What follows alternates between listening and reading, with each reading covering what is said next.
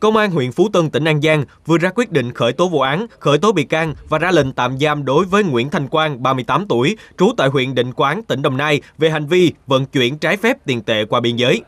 Quang bị xã Vĩnh Hội Đông bắt quả tang khi nhập cảnh trái phép từ Campuchia về Việt Nam và mang theo một túi sách, trong đó có 290 triệu đồng tiền mặt. Tại cơ quan công an, Quang khai đã thuê một vỏ lãi chở sang Campuchia đánh bài và khi quay trở lại Việt Nam thì bị lực lượng công an bắt giữ.